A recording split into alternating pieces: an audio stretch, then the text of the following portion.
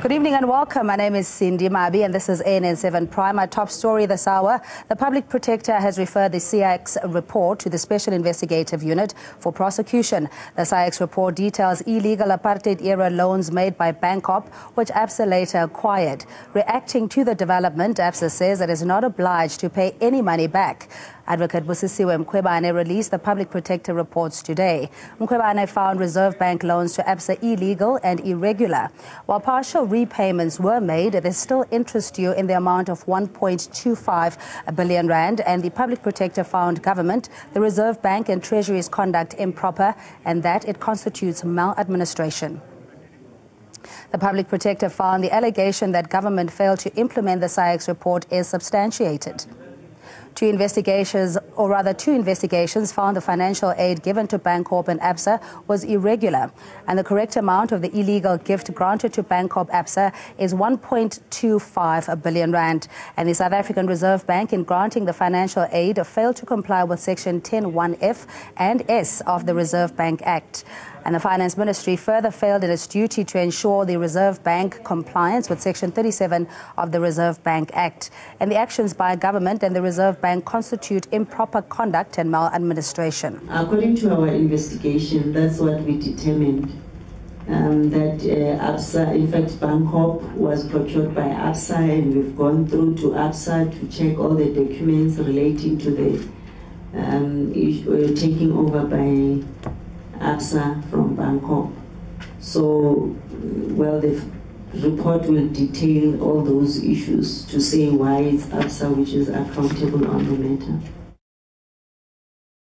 I investigated the allegations uh, here uh, of, uh, we refer to this investigation as a, a CIEX a report which was compiled by a Mr.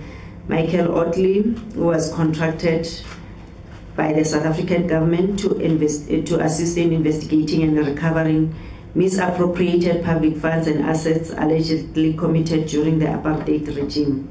The complainant was Advocate Paul Hoffman, who alleged that a memorandum of agreement was signed between Billy Masetla on behalf of the government of the Republic of South Africa and Mr. Michael Oatley on behalf of uh, in uh, October 1997, allowing CIEX to investigate and recover public funds on behalf of the government. He also alleged that what is of concern is part of the CIEX report that deals with the lifeboat allegedly afforded, afforded by way of an illegal gift by the South African Reserve Bank uh, to Bankorp Limited, now ABSA Bank, during the apartheid regime. The complainant alleges that the government of the Republic of South Africa and the South African Reserve Bank failed to implement the CIEX report and to recover misappropriated money from Bankorp Limited without providing any reasons to that effect. Having considered the evidence uncovered during the investigation against the relevant regulatory framework, the public protector makes the following find findings. Whether the South African government improperly failed to implement the CIEX report, dealing with alleged stolen state funds after commissioning and uh, duly paying the same. The allegation whether the South African government improperly failed to implement the report is uh, substantiated. CIEX was paid 600,000 pounds, British pounds, for services which were never used by the South African government. No evidence could be found that any action was taken, especially specifically in pursuit of the CIEX report. Failure by the South African uh, government was inconsistent with the duties imposed, imposed by Section 195 of the Constitution, requiring a high standard of professional ethics. The failure was also inconsistent with Section 231 of the Constitution that requires that all constitutional obligations must be performed diligently without delay the failure of the South African government and uh, constitute improper conduct as envisaged in section 182.1 of the Constitution and maladministration as envisaged in section 6 of the Public Protector Act. The Public Protector has spoken. I think she's done an investigation and I think she has uh, uh, released her findings and I think people must comply with it. The Public Protector has made it very, very clear that even though some money is paid, the transactions fact were irregular. and it has prejudiced all South Africans, and as a result, they must pay. And let's be honest, I think the banks must be treated like everybody else. Let us be mindful of the fact that Absa Bank took over or purchased Bankorp. And when you do that, you take over with their assets, with their liabilities, and everything that goes with. So, if a Bankorp was responsible and liable for this, then ABSA, by virtue of that, ABSA is now responsible for it. So they can't say that they don't have a right to pay, or that they have paid, or they settled the debt. How much we could have done with 1.1 billion rand 10, 15, 20 years ago. Can you imagine how much more we would have done in the country? Ministry of Finance did not ensure compliance. They, they, they, which she goes on to say that they breached certain parts of the Constitution. And if you've just joined us, welcome to ANN7 Prime. My name is Cindy Mabi. On the special edition, as you've heard, Advocate Busisiwe Mkhwebane has now given her uh, recommendations with regards to the CIEX report. And to help us uh, unpack all these issues and where this matter is likely to go is Adil Nchabeleng. He is uh, the president of Transform RSA. We have Mosiri Tsiane, South African Liberty Foundation president or chairperson. Mzwanele Manyi is with the Progressive Professionals Forum as their president. Tsepo Khadima, political analyst and Professor Andre Thomashausen, constitutional law expert. Yamkela Pengane is a political analyst and Njabulo Nzuza, Secretary General of the ANC. And of course, you at home, our most important panelists, we welcome you to the show. Gentlemen, good evening to you. I had to relinquish my seat to make room for our esteemed panelists. But uh, let's start with you, Professor Thomashausen. When we look at the Constitution, considering that this matter is long standing with the CIEX report, what are the chances that it will see the light of day? That is really the big and essential question. Um, because, of course, those who stand to, to, lose as a result of the rediscovery of the CIEX report, the CIEX report is from 1997, 1998, uh, they will argue that most of these claims have prescribed, that they were never uh, followed up, um, that the state did nothing to recover that money for whatever reasons and, um, and that, like any other liability, they may have prescribed. Uh, even in criminal prosecution terms, um, some of the minor offenses may, may no, it may no longer be possible to, to prosecute them. If, if that technicality can be overcome, then there will be other very complex issues, such as the, uh, the question of uh, succession between what was called Bankorp and what is now called Absa Bank. Um, Absa Bank may argue that it is not liable for what happened to, to an institution that existed before Absa came into being. And then, of course, um, the Reserve Bank uh, condoned all these actions, and uh, that could be argued um, uh, constituting a pardon. It could be argued as an acquiescence. Uh, the pressure, the public pressure, and maybe also international pressure, will nevertheless be considerable. Mm. Because in total, we're not just talking a few billion rand. Um, the CIEX report that has always been available was widely covered in the press in 2010 in Newsweek. Um, that report uh, came to conclude that about 240 to 260 billion US dollar had disappeared. So basically, this is the real sunset. This is the enormous amount of money that um, the apartheid leadership, the apartheid elites secured mm. in offshore accounts, in obscure destinations, uh, to, to have a very comfortable sunset. And that is a huge international scandal because, of course, they couldn't have acted alone. They needed major institutions, major powerful politicians to help them along. We can understand and appreciate that there's a grander scale in terms of uh, apartheid corruption, if you will, primarily after uh, 1976 going forward. But do you think Advocate Mkhwebane had preempted that there could be a glitch or technicality by saying or calling for a, uh, a change in reform uh, or legislation, rather, in dealing with this matter, Tsepo? Look, I think uh, the, the inquiry, uh, so as to speak, was very narrow and very limited.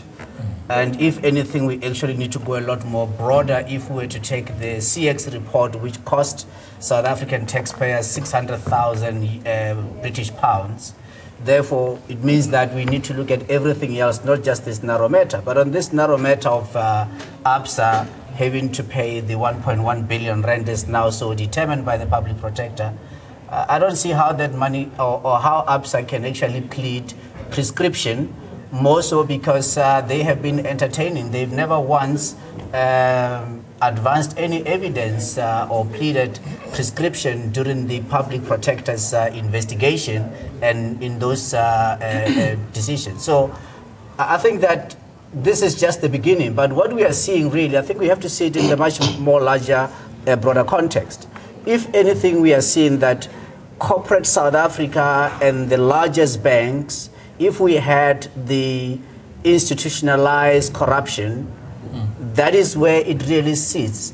But also, if we had institutions that do not respect the rule of law, it's large corporations and so helped by the banking institutions that have just far, become far too powerful. If you see the statement that came out today from ABSA, that never advanced any legal uh, arguments howsoever as to why they deem not to be owing this money, uh, that should be a cause for worry. And also, let's bear in mind that, by the way, this has been out there. We have Hennie van Vuuren, who just released a book recently. In 2006, he wrote a very detailed uh, expose on the apartheid grand corruption, and nothing was taken was done about that. We have uh, uh, Bob Aldworth, the late Bob Aldworth, who also again wrote a book, The Infernal Tower. And when you read The Infernal Tower, you'll again realize that uh, there is absolutely no way that ABSA or anyone for that matter could sustain any argument that the money is not due and payable. But if anything,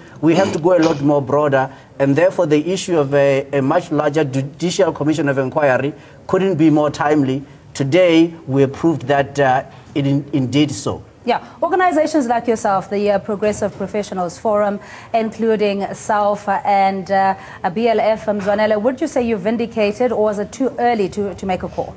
Yeah, I think just before we get to that, yes, indeed, we are vindicated uh, on a number of fronts, by the way. But before we even get there, I think let's just kill the issue of uh, prescription here. I don't think the issue of prescription actually applies because we don't actually have a delinquent debt here. We have a situation of maladministration, of debt that should have been collected but was not collected.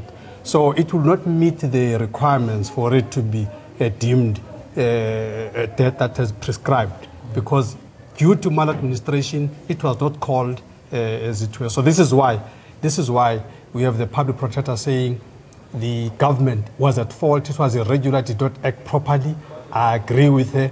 Uh, uh, people like Trevor Manuel, who uh, misled the government and said things mustn't happen and all of this. That's all part of maladministration that people must uh, uh, come to. In terms of vindication, yes, indeed.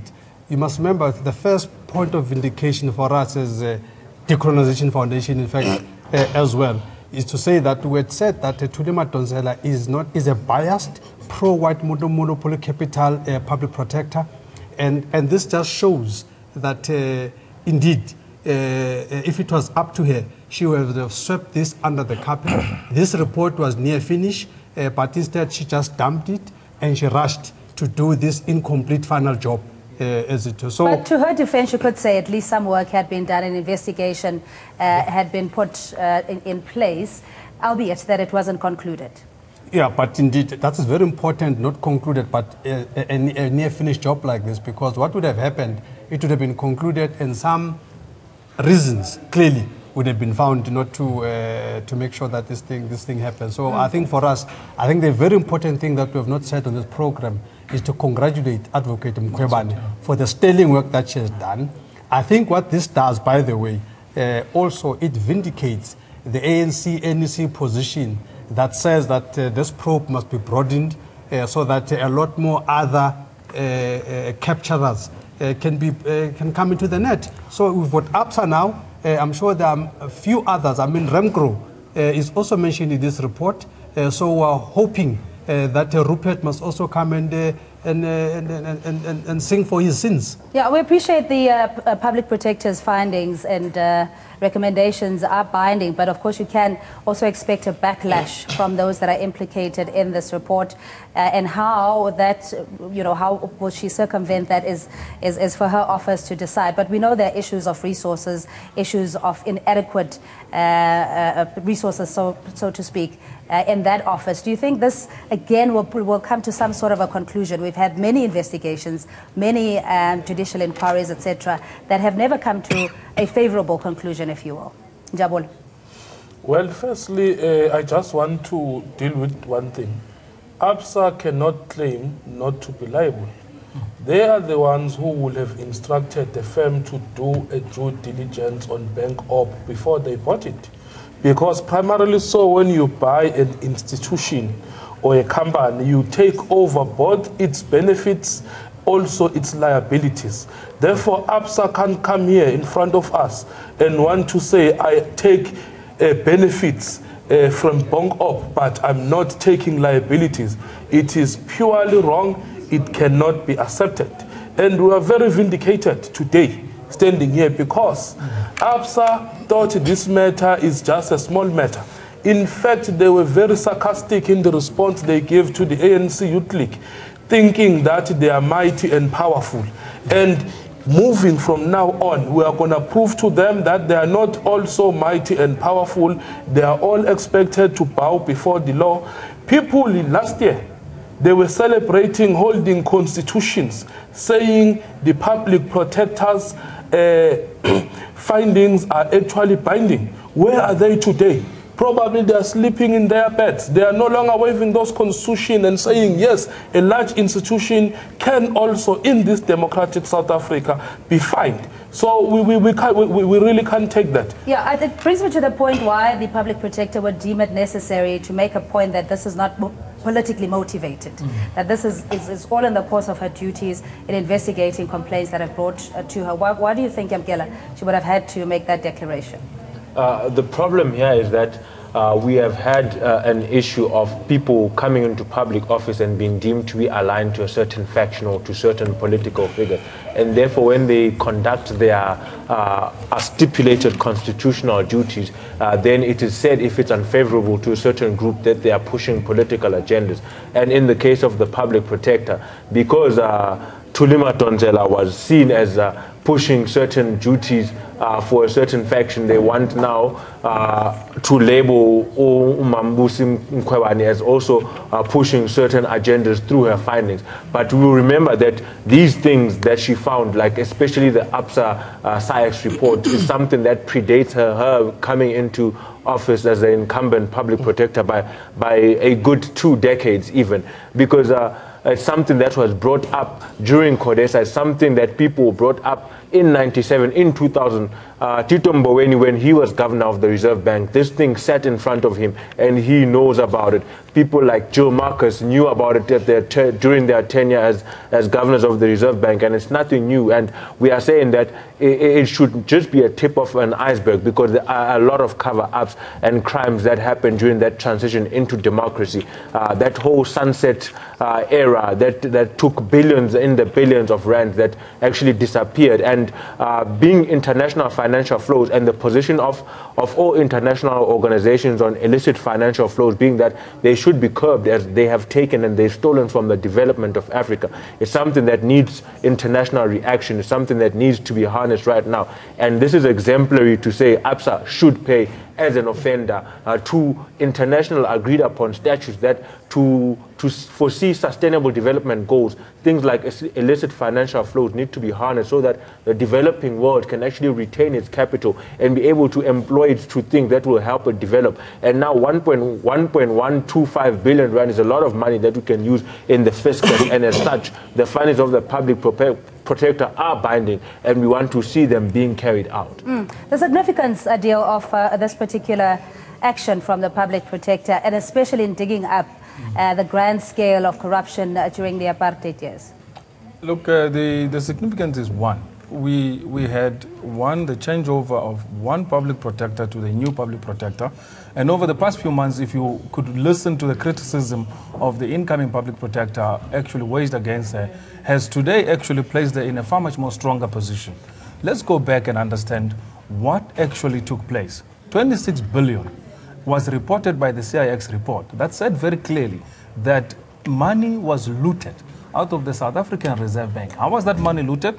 Various organizations, there were five organizations, which ABSA was one of them, who were given special money as a rescue package, as an aid package, in order to assist them to survive through that period of turmoil and actually going through hard time. Then ABSA comes in and acquires this particular in, uh, organization called the Bankorp and acquires it with its asset. And particularly, those assets included the money and the cash that they had already received from the Reserve Bank. Then you come to what we're looking at today. ABSA making a refusal and making a blatant, reckless statement that it's not going to pay back that money clearly indicates that we have a rogue corporation in South Africa. ABSA had made a fundamental mistake. One is this is a bank that banks over 11 million South Africans. Secondly, is it's a bank that not long ago, a year ago, if you remember so, Barclays was busy running quickly to untangle its shares and assets into the ABSA particular ownership. Why were they doing that? It means they had already knowledge of what was to come. So as a result, we're sitting in a situation whereby today there already has been an order to say that penalties must be paid, the money must be recouped back into the South African uh, Treasury Fund as well as the government. But we need a functional government. The Minister of Treasury today should have been sitting and asking himself the question, what do we do in a given situation like this? One of the things that the minister should be doing is to say, we already have identified that we have money in ABSA. South Africa is looking at a state bank model here we have a bank that already owes us money, which took from the Reserve Bank. That should have been already the strategy to go forward and say, let's start talking and engaging with this bank, engage with the other structures to say, now how do we make sure that we resolve this issue? ABSA is an entity governed by the South African law. It cannot come back and tell the South African people that they are not interested in paying and they are not going to pay. Unless they are revol- they are actually going against their constitution unless they are prepared to actually be waged a civil revolt against them and on the issue of the penalties that have already been spoken about. So you know nobody's going to get scot free here. Yeah. there's a suit but, to but say it's a legal sorry it's it's a legal entity and uh, the uh, predecessors or those that were in the exco could argue that you know during their tenure they tried to do something, give some a lame excuse and move forward. So there's that degree of separation where they say, you know, it wasn't during my time and move on. It's the same with the land issue. Land was taken and stolen from South Africa. Are we going to tell people that since the land was taken, we cannot recover it back again? That's the same thing. We cannot now start recusing ourselves from responsibilities. The minute they inherited the Bankorp, they knew the liabilities, they knew the asset, they knew the responsibility. It is upon them now to take on the step of saying, then how do we correct this mistake? In this case, there is a Sutu saying that says, Molato hauboli Meaning what? A crime never rots. But the important thing, though, is that we're dealing with ABSA, the entity. Mm. We're not dealing with individuals. Even if the whole entire management can be fired today, the Doesn't liability matter. still stays because we're dealing with ABSA, the entity. By the way, I wanted to add that, in fact, this 26 billion is talking about is the recoverable amount. The actual amount is 200 billion. Uh, that was actually stolen. Mm. So this 26 billion is just a compromised position, by the way, so that South Africans must know that this country has been ripped off by uh, these uh, of this world uh, as it is. No, but we've seen impunity as well with certain uh, former presidents under the apartheid government now wanting to dictate on uh, what uh, ethics and leadership is all about. Where I'm going with this, Professor Thomashausen, is how people can hide or of their responsibility using not only the constitution, the law, and, and, and selective amnesia. Well, the one sad conclusion is that probably the entire Truth Commission process was a smokescreen. The, the real crimes were, were not revealed. And it is quite significant that in January 1998, uh, a, a, meeting of, of all the senior cabinet ministers, Dullah Omar was there, Tito Mboweni was there, Trevor Manuel was there, Alec Erwin was there, discussed the CIEX report. And a few months later, uh, the arms deal was signed. And there is a trade off here that the world said, listen, don't ask us for $240 billion, not rand, billion dollars. This is about the gross domestic product of, of South Africa. Uh, don't ask us to give this back because it could collapse the entire Swiss banking system. We don't have that money. Uh, we'll, we'll give you some arms and we'll make you, we'll make you a member of the elite club. You, you can sit at the table with the G8 and you can feel important and, and you'll be one of us, and we'll integrate your little country into our worldwide uh, distribution of labor and opportunities and industrial manufacturing. So there was a political decision, obviously, to go that way, not to rock the boat. Without, without disrupting you, what is just described is the macro capture of South Africa. This is what it happened. People are talking about state capture in a very superficial terms. This is the capture that uh, South Africa has been under since day one. Please proceed, Prof. Well, the thing is that there is a lot that has happened around this issue. It's also very significant that the man responsible for the CIEX report, he only took a year to get the facts all together. He's one of the most senior intelligence people in, in, in the UK. He's the man responsible for the peace in Northern Ireland, Mr. Oatley. He's, he's quite an exceptional personality.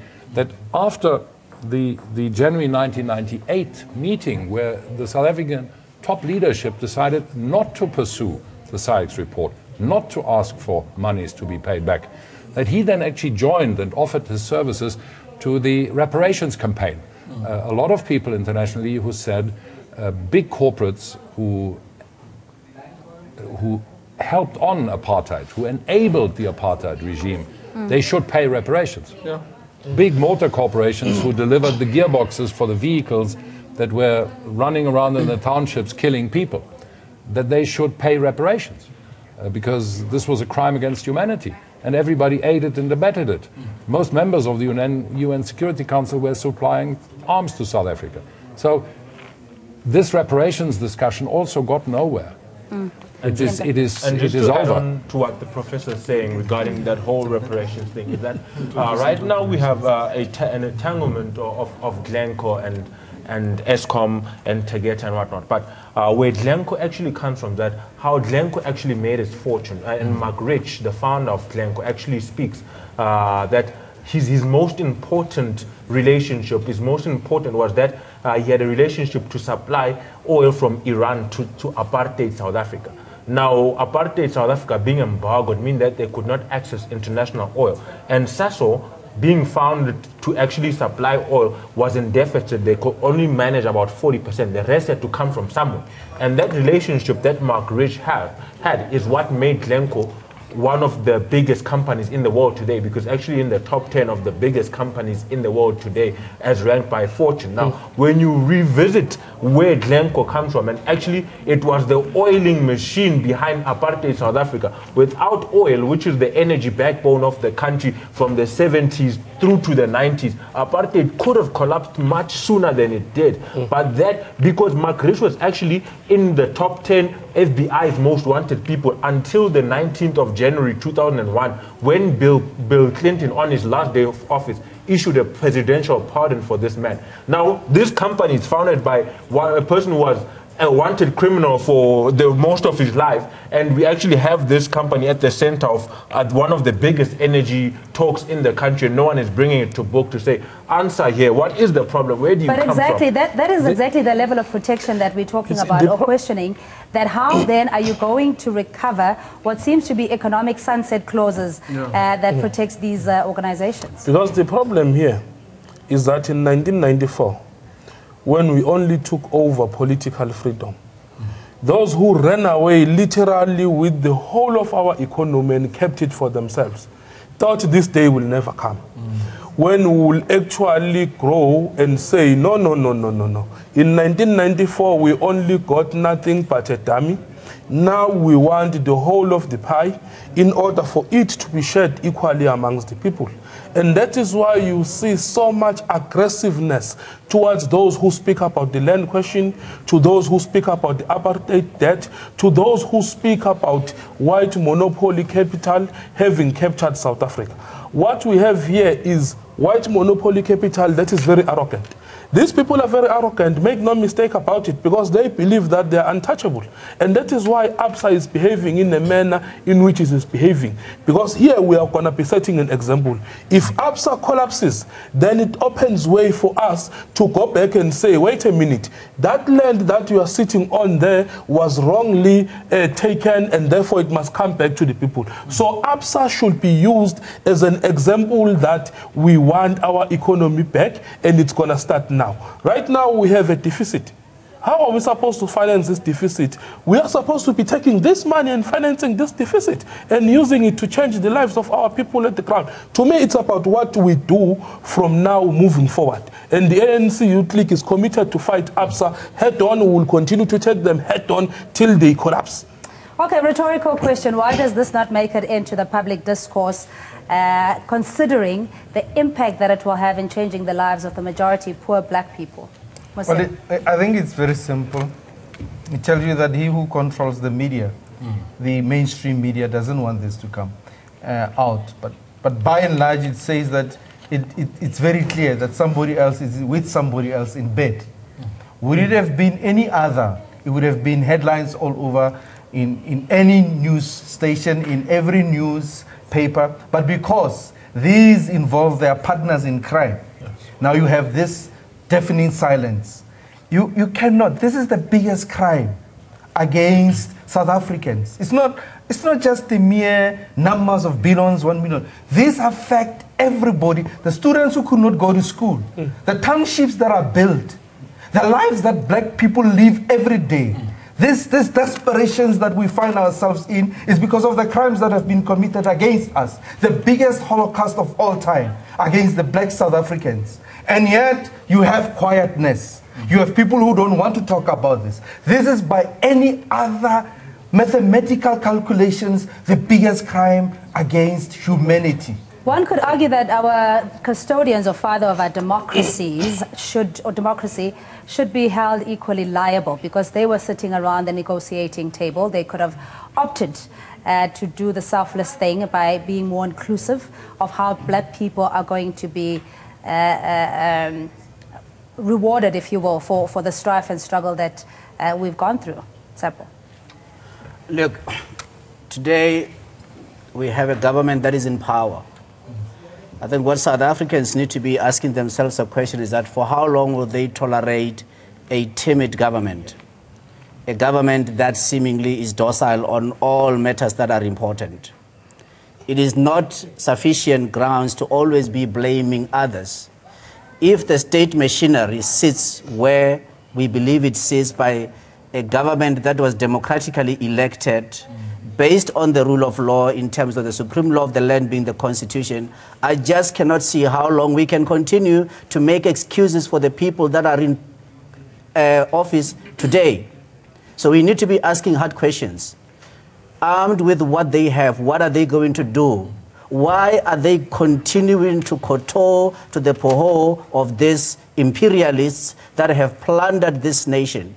What we are sitting with here is not just a question of monies that are recoverable, but we are actually sitting with uh, criminal activity that has to be prosecuted in the criminal, uh, within our criminal justice system, and people have to be jailed. We have seen what the, um, in Germany, with, uh, during the time of Adolf Hitler, uh, even years later, 40, 50 years later, people were still being prosecuted for their crimes during that era. How can it be that today people can be saying here, justifying criminality and saying, let the bygones be bygones, we are a, a rainbow nation? But I am worried, exceedingly worried, that despite the evidence that is there, despite the fact that uh, many others, patriotic South Africans, have written at length and risked their own lives in exposing this colossal corruption we seem to be completely doing nothing about it. And it's not just ABSA, by the way. We know a few years ago, FNB owned, uh, First National Bank owned a private bank, mm. Ansbacher, that illicitly moved 2.8 billion rand of private people uh, offshore, and they were never prosecuted. And today they are the very same executives that can stand up and tell us that you know, they are the paragon of all things acceptable. This has to stop the government, those that are in office, whether they are within the criminal justice system, whether is in the executive, they need to stop and say, here and no further. They cannot continue to you know, hide behind that there is due process that must be observed. But they need to state and say they have been elected, they have been appointed into those positions to do nothing but to uphold the rule of law. Will they tell South Africans that they will now uphold the rule of law? Are we likely to see that demeanor? Well, I do, here's the issue. I think, I think what this indicates is the level of capture of this government by white monopoly capital. The government is in a very invidious position if it moves in a way that Tsepo is suggesting, the strings are going to be pulled. You must remember, that, uh, I mean, you look at an example. Here's, here's an example. We appoint a Minister of Finance. Where does he go first thing? To go and say nothing is going to change. London, He goes to London uh, and all these places. He goes to the US and so on to say, oh, nothing is going to change. That shows the level of capture, the level of being manipulated by the rating agencies and all the people that we owe money to uh, as it is. So I think let's, uh, let's just understand that in the first place, that we have a government that is not operating uh, uh, on a blank check situation. Or It's a government- independently. it's a government, and if it, I mean, you look at, at the simple thing of if the, uh, President Zuma did not get permission from White Monopoly Capital to appoint uh, Minister Gigaba, and you've seen the consequences of that, and we're still living through that. They are still fighting back, as it were, even today. So I think, I think uh, as much as more could be done by government, but I think let's just understand that the government is working under very difficult conditions because we owe two trillion rand uh, elsewhere. So, so government must Cash act, but important. There's Yeah. some realities I, I, that I we must think you know the account. question, just in very simple terms, how do we then achieve the radical economic transformation? If you're saying that uh, government's hands are bound, uh, there's the constitution on one side, still largely protecting uh, uh, white privilege, if, if you want to call it that. How then do we say to our people, the time is now for the second transition? Your time is is, is Let ripe. me close by saying, for- let me for close you by to- saying, to in benefit. fact, this is the right time because right now can't get any worse. We are in the junk status, uh, the rand is taking a knock, uh, and, and, and, so on. So this is actually the time. If government, it's now or never. This is why, even with the Mining Charter, that for us as Progressive Professors Forum, we're saying that the Minister of Minerals uh, should not back down. He must, in fact, look at increasing that 30% to a higher number. This is the time.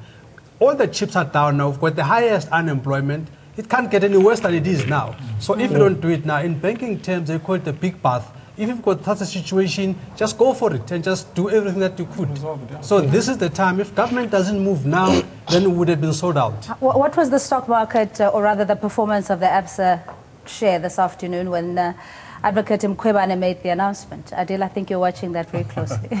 Look, the stocks actually, the ABSA stock took a bit of a chilling. It uh, went down from its original position, and I think it lost about uh, 0.2% given uh, the numbers. And uh, what is actually strange, you know, the, the numbers are indicating that ABSA's capitalization right now is sitting at 3.675 billion in terms of capitalization. And the report says that the, you know, ABSA must pay back that 1.1 billion. Actual amount is about 3 billion.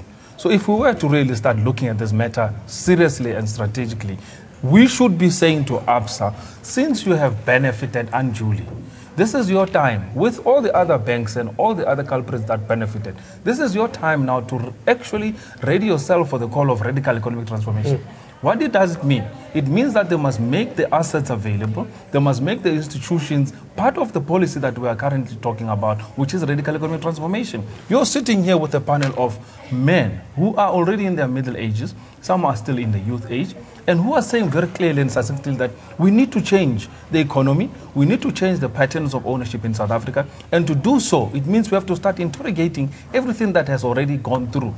The CIEX report has not even gone deeper. People on really various level, I will encourage everybody to take the time and read it. It's available online. It's a PDF. You can read and go through it. It's not a made-up report. It's not something that people are making up. But what is even of essence is over 3,000 tons of gold was removed from the South African Reserve Bank, including diamonds.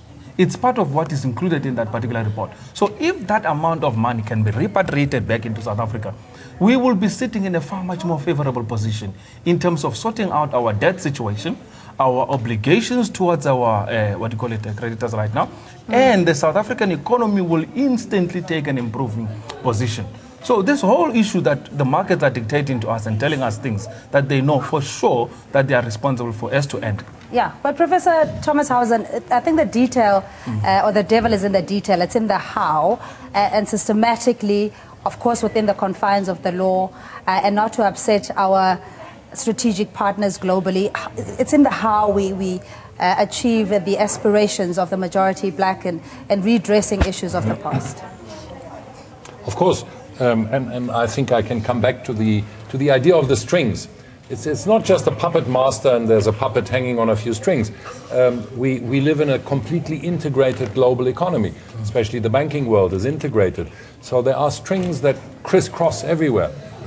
if we try and break out of this, we can very quickly end up like Venezuela.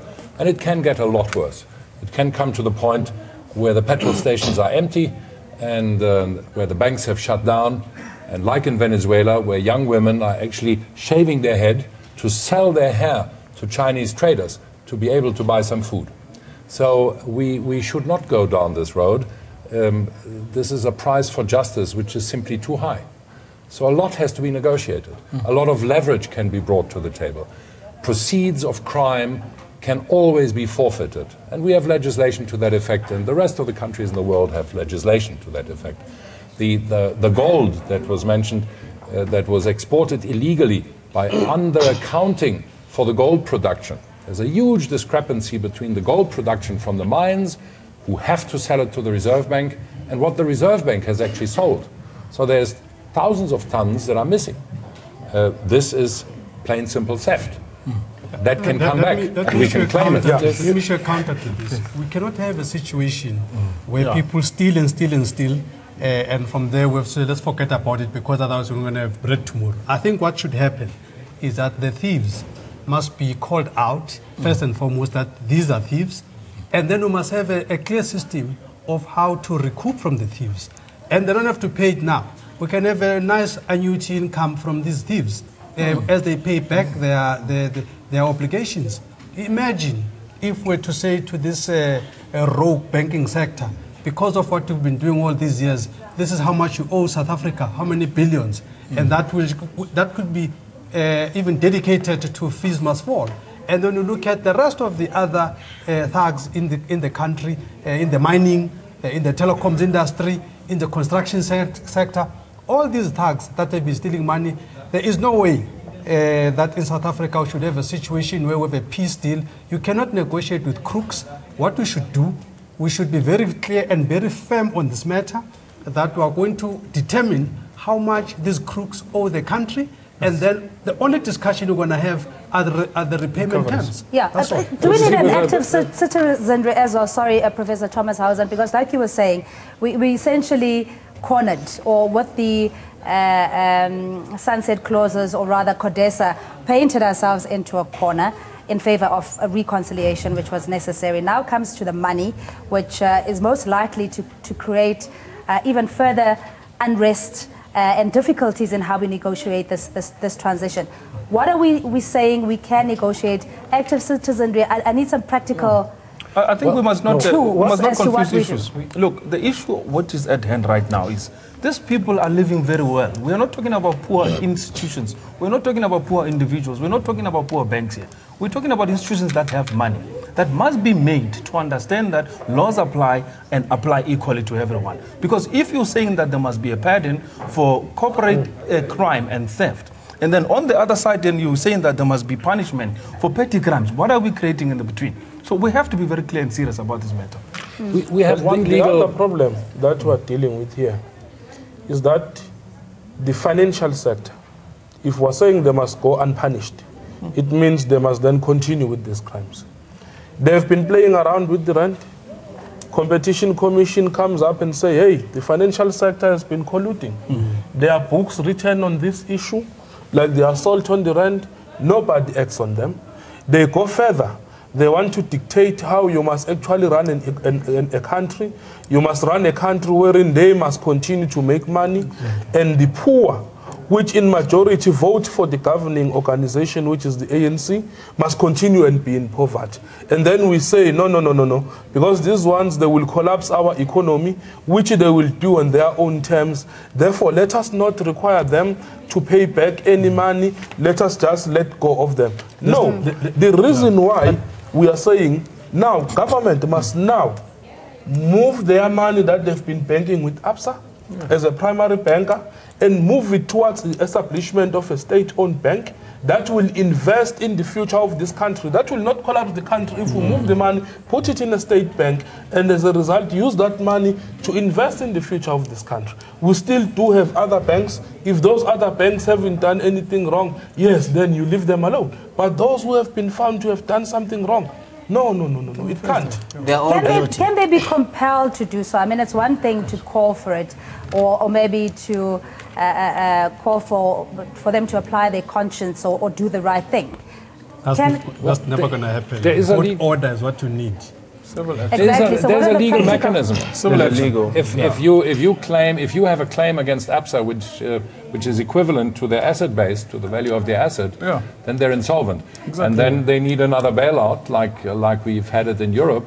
And the consequence of modern bailouts is that they have to surrender their equity, so they become automatically nationalized. You take because the government, the, the, the, the Reserve Bank will take over the equity. Then as surety the government claim. uses that infrastructure arising from that equity and the assets to do what? To create a to native operate a state-owned bank that well, has or to have a infrastructure. transformed bank. To have Exactly. a transformed bank. So is All right, we do is have this, a is solution. this, are these the, the, the suggestions or recommendations that are in the near future or something that can be uh, applied? We saw the public protector still calling for the special investigative unit to further probe and for, for ABSA to pay back the money. That in itself is probably going to be a lengthy process. Uh, but now that the, the public protector has thrown the ball into the court, we, we, we we await the, the, the special investigations unit to actually probe further into the details. But now it, there are legal mechanisms to then institute a way for ABSA to actually pay back uh, whatever is deemed to be the amount, be it that 1.1 uh, 25 billion rand or whatever is the amount. And uh, we are also saying that it should not be limited to ABSA because uh, we cannot postpone the reparations that are due to people. We cannot postpone what because uh, as as Tepo mentioned earlier, uh, in 2010, Germany paid the last installment of the 1919 uh, Treaty of Versailles uh, fine. They, they actually were, were, were supposed to pay uh, from 1919 and they paid it in installments up till 2010. Now, if it can take you 99 years to pay a debt that was done in, in, the early 20th century, apartheid ended in 1994.